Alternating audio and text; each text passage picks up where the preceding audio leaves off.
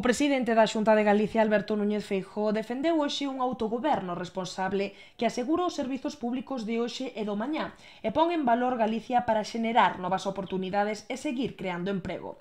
Así o manifestou hoxe no seu discurso do debate sobre o estado da autonomía, no que subliñou que os galegos están á altura das circunstancias e no que pediu unha Cámara á altura dos galegos. En canto ao emprego, mantén como prioridade a loita contra o paro e anuncia un 50% máis de recursos para o emprego juvenil e un plan plan específico que fomente a contratación de maiores de 45 anos. Na industria propón adaptarse á nova realidade económica cun plan de diversificación que dea valor engadido aos sectores tradicionais e potencie novas actividades. Falando de internacionalización, subliña que Galicia cadou un récord histórico en exportacións e o novo obxectivo é incrementalas nun 25% ata 2020.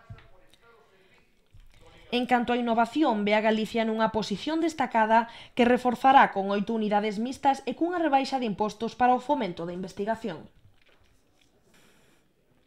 Falou tamén dunha educación pública onde máis de 51.000 xa teñen un ordenador no ensino público e máis de 85.000 unha educación trilingüe en primaria e secundaria e o plan de plurilingüismo estenderase ao bacharelato o vindeiro curso. En canto á sanidade pública, 3 de cada 10 galegos teñen xa o seu carón un hospital público ou centro de saúde novo ou renovado e chegarase a 7 de cada 10 en 2016.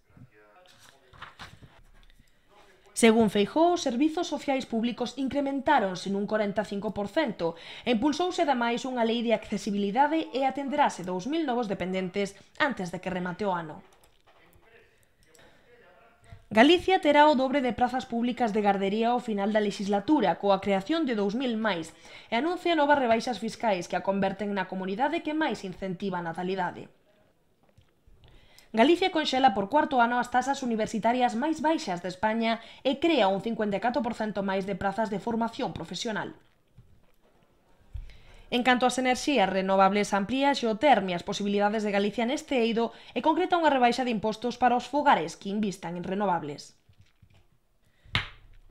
Destaca a necesidade dunha lei do solo que perdure no tempo e subliña os novos mecanismos que a norma incluirá contra as edificacións inacabadas.